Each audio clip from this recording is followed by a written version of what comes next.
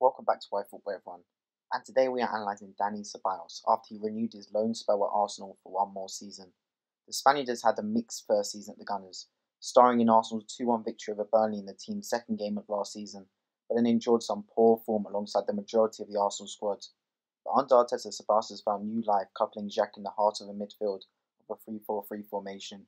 But with the addition of Thomas Partey from Atletico Madrid, let's see how Mikel should decide to utilise Dani Ceballos throughout this coming season.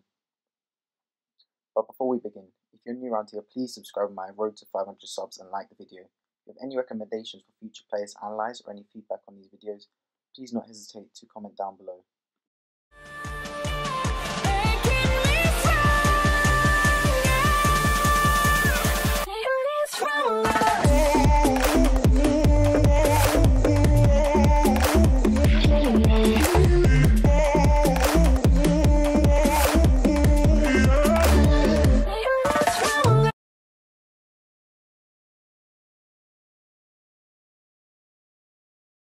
Even if you've only seen Ceballos play one game for Arsenal, you will almost instantly notice his ball control and retention is excellent.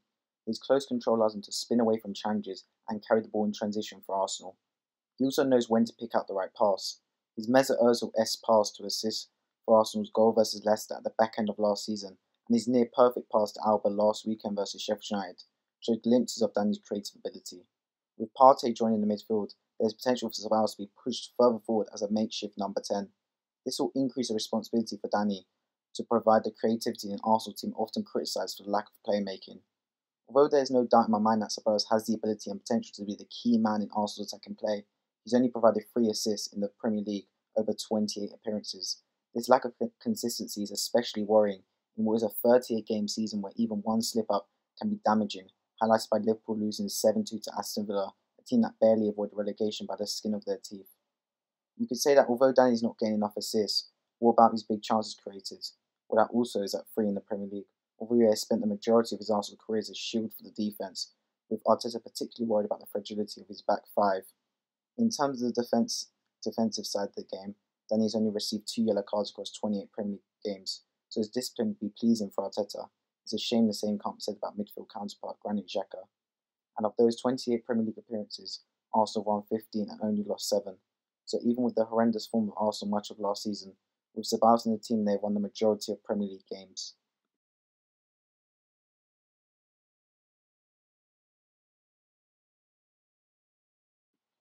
Dani does not provide nearly enough goals in Arsenal shirt, and that's clear to see why when he has only had 14 shots in the Premier League, with only three of those being on target. Arsenal's lack of creativity has been evident, and therefore limited Ceballos to edge of the box and long distance efforts, as seen here versus Burnley. As a midfield player, he also has a worrying defensive success rate. He loses more overall duels than he has won, and only wins 30% of his aerial duels. This can be worrying when physical teams such as Burnley try to pull him out of the midfield battles. Another reason why the purchase of Thomas Partey can restore some steel and strength to the middle of the park. A final point is a blessing and a curse. Ceballos is decent at most aspects of the midfield positions, and at still a fairly young age of 24 has the potential to develop into an incredible midfielder. But honing down one midfield spot and thriving in it may prove to help out Dani in the long term. Rather than learning the traits of a defensive midfielder one week, then a box-box midfielder next, focusing on one aspect of his game while he's still at a relatively young age will put him in a much better position long term to become one of the world's greatest at that particular skill, whether it be as a box-to-box or creative midfielder.